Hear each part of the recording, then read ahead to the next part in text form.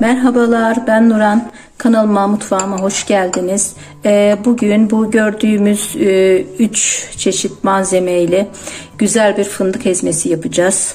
Ee, bunun için 2 bardak fındık, 2 e, yemek kaşığı bal ve 2 yemek kaşığı kadar da e, çiçek yağı kullanacağım. Şimdi yapımına başlayalım. Öncelikle tavamızı ocağımıza aldık. Fındıklarımızı tavaya aktarıyorum.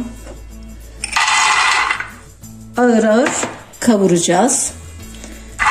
Biraz kıtırdaması lazım. Ee, bu işlem hem fındığın yağının e, biraz daha ortaya çıkmasını sağlayacak. E, hem de e, ezilmesini kolaylaştıracak.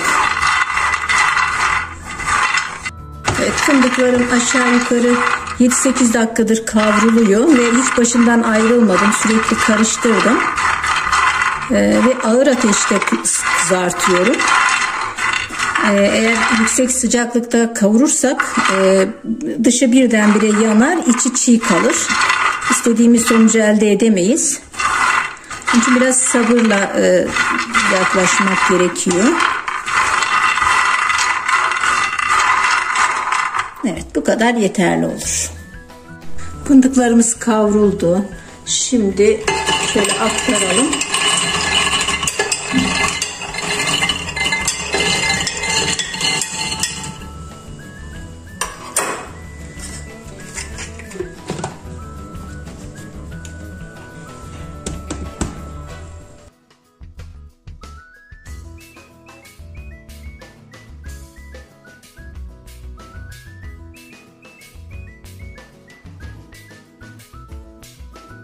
Evet ara ara karıştırarak iyice un gibi olmasını sağladım. Şöyle. Bakın. Oldukça ezildi. Şimdi yağını ekleyeceğim.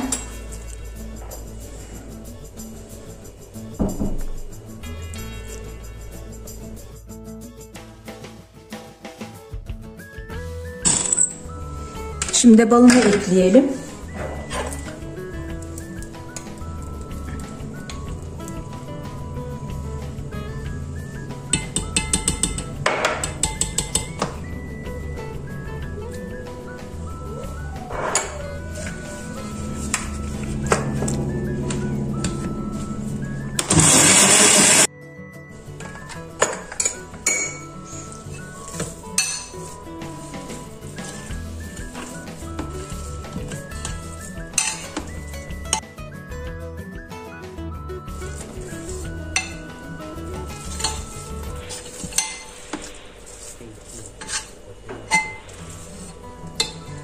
Bakın zaman zaman karıştırarak şöyle homojen bir yapı elde edinceye kadar devam ediyoruz.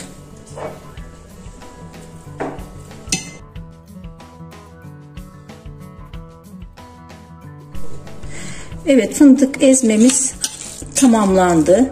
E, aşağı yukarı bir 18 dakika e, boyunca yüksek devirde çalıştırdım robotumu. E, gayet güzel. Hepsi birbirine uyumlu bir şekilde karıştı. E, artık kavanozlayabiliriz.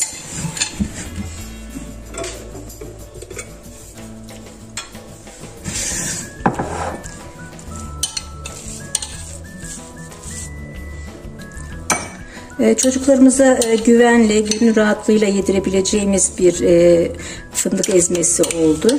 İçinde ne olduğunu biliyoruz. Hani gereksiz katkı maddeleri yok. Kendi elimizle yapmışız. Bal yerine şeker koyabilirsiniz, kakao ekleyebilirsiniz veyahut da pudra şekeri, şeker yerine pudra şekeri ekleyebilirsiniz. Bu tamamıyla size kalmış bir şey, zevkinize kalmış. Ee, bu arada kanalıma abone olursanız sevinirim.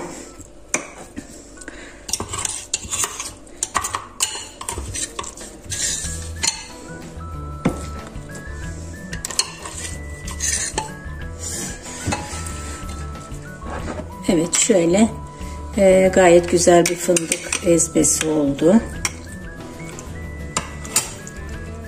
Yapacak olanlara da kolay gelsin diyorum.